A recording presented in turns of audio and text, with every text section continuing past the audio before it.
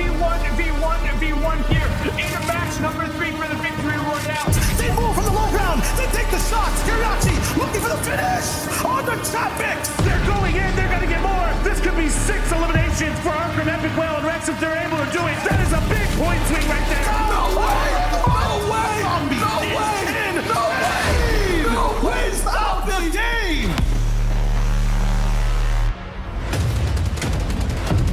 This is winnable!